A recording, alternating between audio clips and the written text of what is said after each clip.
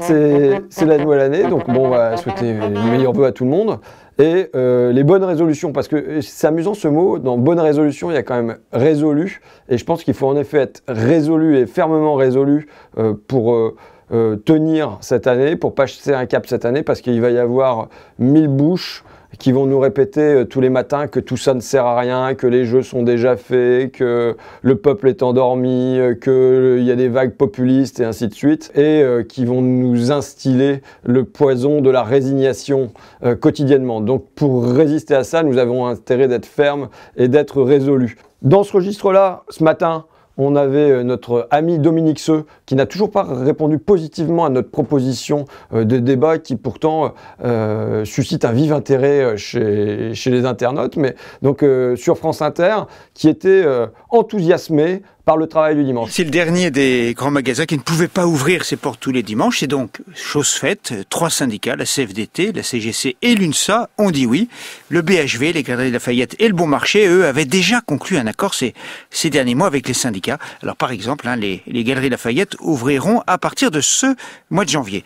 Toutes ces grandes enseignes sont évidemment ravies parce qu'il y a beaucoup d'acheteurs potentiels, surtout étrangers, et beaucoup d'emplois. Le travail du dimanche, c'est super. Euh, enfin la modernité. Macron, il a fait des super réformes. L'écart Macron, c'est génial aussi. Bon voilà. Donc on va voir un déversement de ça. Et dimanche, euh, dans le même registre, j'entendais euh, à France Inter dimanche 1er janvier, donc comme ça on démarrait fort, Arnaud Le Parmentier sur France Inter, qui, il y avait un auditeur qui venait de proposer que des membres de l'Assemblée nationale soient tirés au sort endroits où il y a du tirage au sort Parce qu'à part Athènes et euh, mes anciens cours de grec ancien, j'ai aucun souvenir de tirage au sort. Est-ce que dans un pays comme la France, ça a quelque chose d'un tout petit peu raisonnable d'avoir du tirage au sort dans un métier où euh, être ministre, être député, c'est faire des lois très complexes? Est-ce que ça a un sens de faire du tirage au sort en prenant... Non mais le tirage au sort... Que dire sinon que je suis plutôt euh, favorable, moi, au tirage au sort des éditorialistes. C'est-à-dire qu'à part à la place d'avoir Dominique Seux le lundi, mardi, mercredi, jeudi, vendredi sur France Inter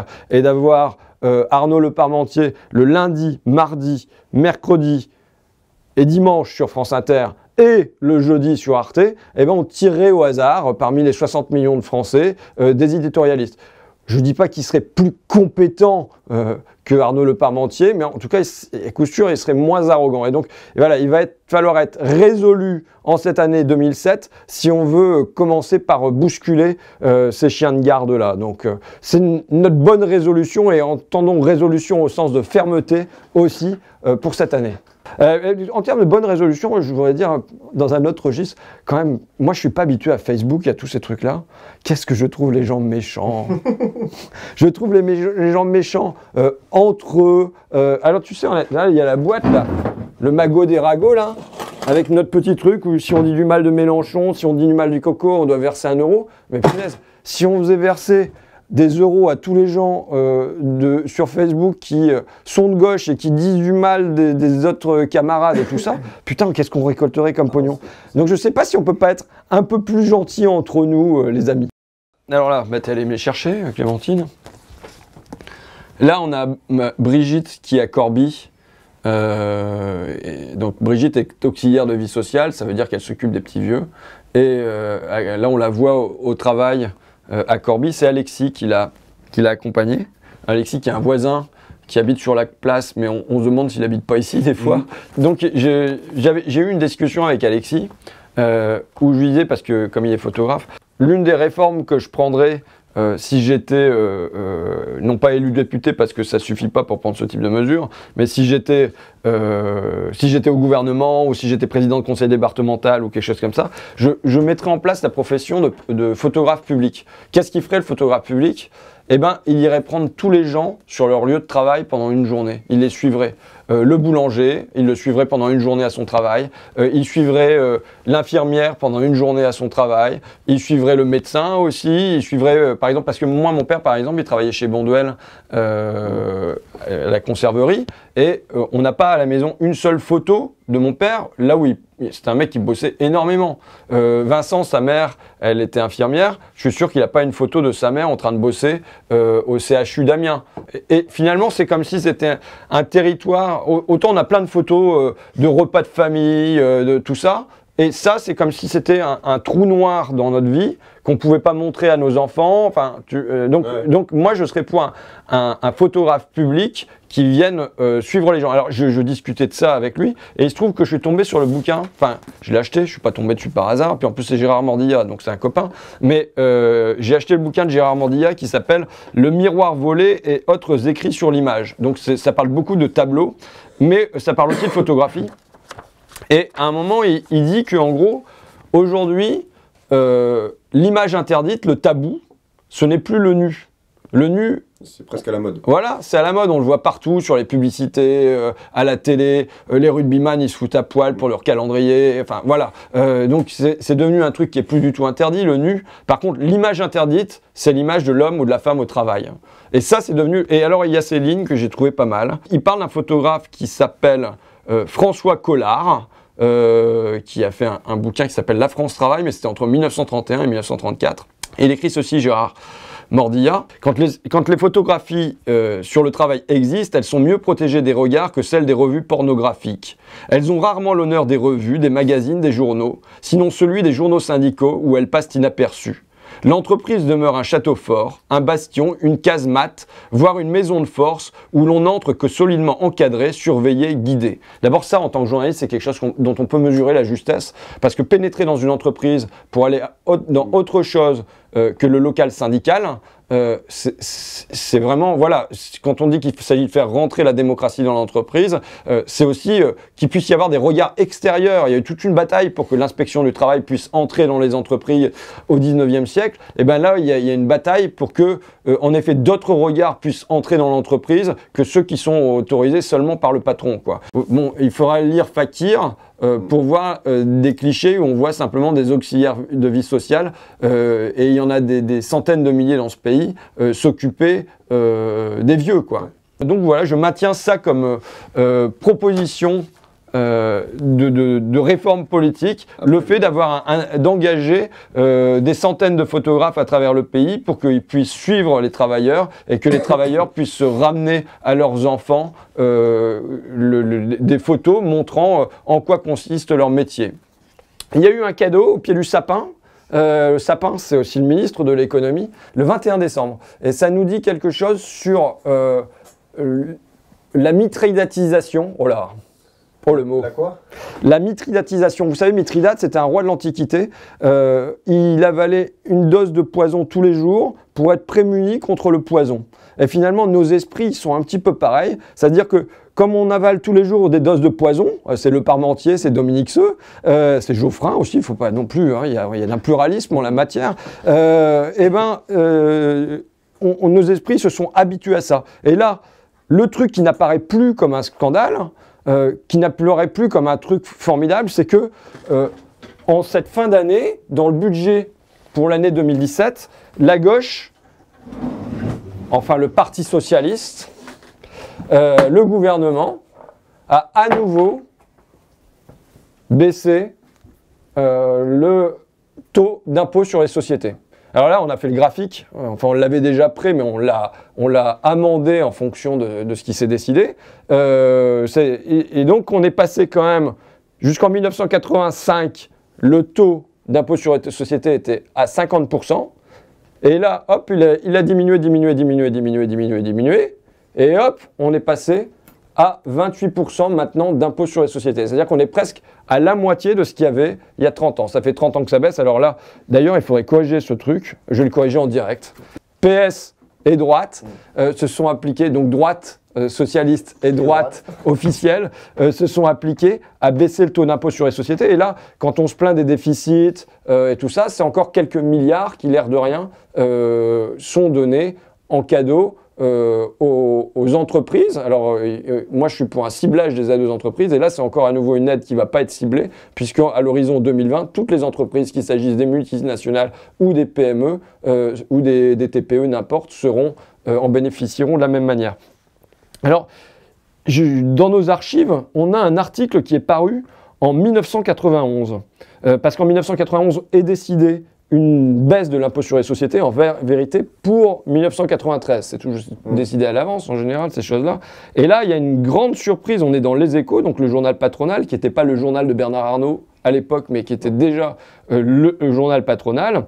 Et là, on est surpris. On est surpris parce que c'est la gauche, enfin le Parti socialiste, qui baisse l'impôt sur les sociétés. Et donc, euh, les échos écrivent Le coût de la baisse des taux de l'impôt sur les sociétés est énorme, puisqu'il est estimé à 13 milliards de francs, donc 2 milliards d'euros. Là, la baisse, là, c'est à peu près 3 milliards sur la dernière décision. C'est 3 milliards d'euros à peu près qui devraient disparaître euh, du budget de l'État. Cette mesure qui coûtera à l'État 7 milliards de francs en 1993 est un cadeau fiscal aux entreprises, mais également à leurs actionnaires. C'est dit tel quel dans la tribune à l'époque, donc un autre journal patronal, euh, que c'est un cadeau fiscal aux entreprises, mais également à leurs actionnaires qui est fait à ce moment-là. Et à, l'époque, on était très surpris euh, que ce type de décision puisse être prise et euh, que ça soit une fraction de la gauche qui, euh, qui prennent ces décisions. Aujourd'hui, ça passe quasiment inaperçu, voire les, les, responsables du MEDEF et de la CGPME trouvent que c'est pas suffisant, qu'il faut aller, aller directement à 25%.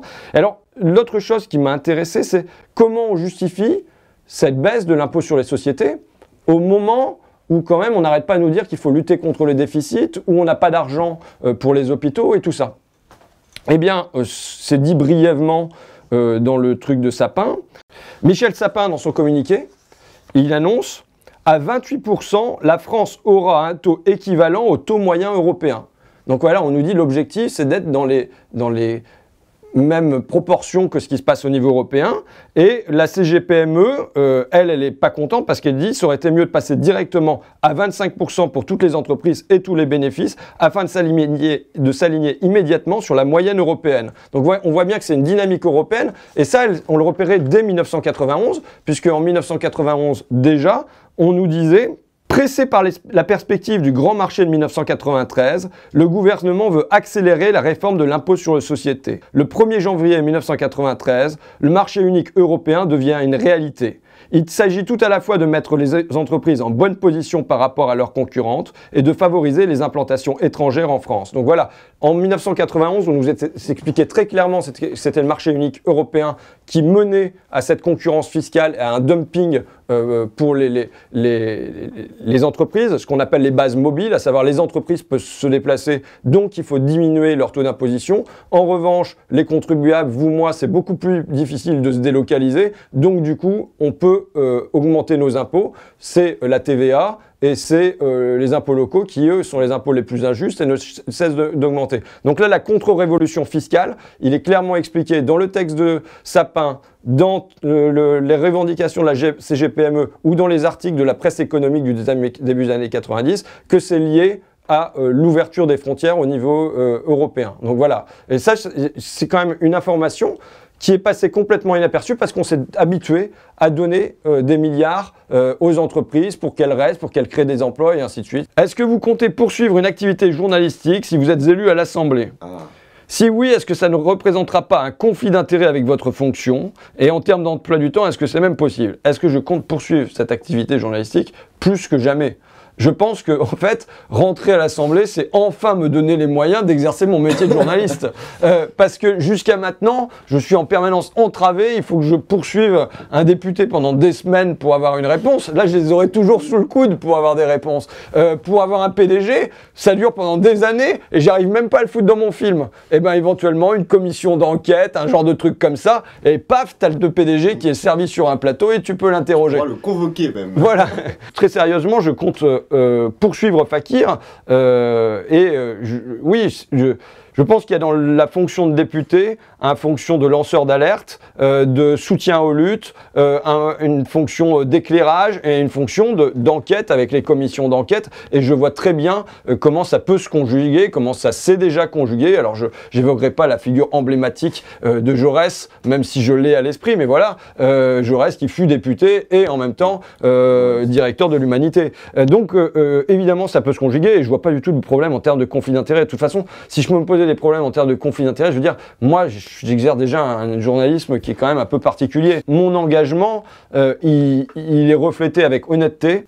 Jamais euh, je n'ai cru, moi, en, l'objectivité ou en la neutralité. Par contre, je revendique l'honnêteté, c'est-à-dire euh, d'assumer le lieu d'où je parle, euh, de dire voilà euh, quels sont, euh, pourquoi je m'engage de cette manière-là, de dire avec franchise et de par exemple d'expliquer pourquoi j'ai envie d'être député dans le dernier numéro de Fakir ou au moins d'être candidat et de d'exposer ça à mes lecteurs, qu'ils en pensent ce qu'ils veulent, mais de le dire voilà. Et donc je, compte bien poursuivre ça et je vois pas du tout de, de difficulté en termes de conflit d'intérêt. Après, il me demande comment comptez-vous vous y prendre pour ne pas vous faire corrompre?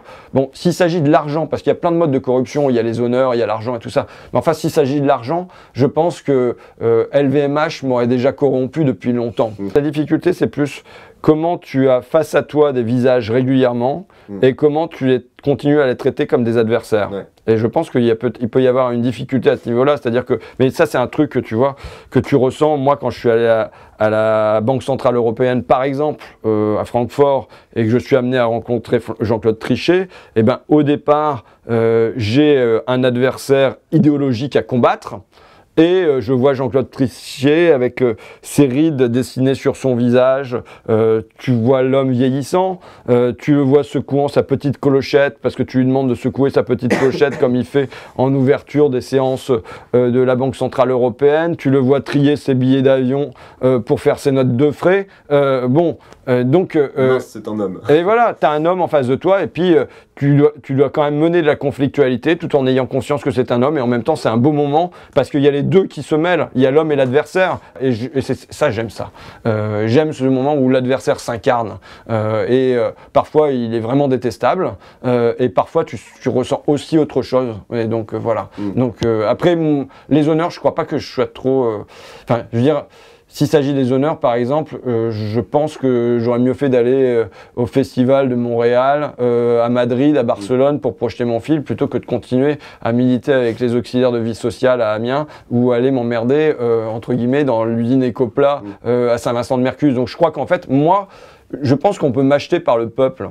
Euh, non, mais je pense qu'on peut, on peut m'acheter en m'offrant un ancrage, un sentiment d'ancrage populaire. Et si on m'offre ça, je pense que je peux avoir un sentiment de bonheur. Et, et, et qui euh, lui, en fin de compte, euh, a été enfin, s'est senti incorporé au Parti communiste parce que le Parti communiste lui fournissait un ancrage populaire et c'était ce dont il avait besoin. Adé chez amis, hein. Bah, à vendredi pour ceux qui veulent, euh, puisqu'on a une réunion publique euh, à la salle Bizet, à Saint-Maurice. Euh, bienvenue à tous, c'est tout. Hein. On, on là-bas.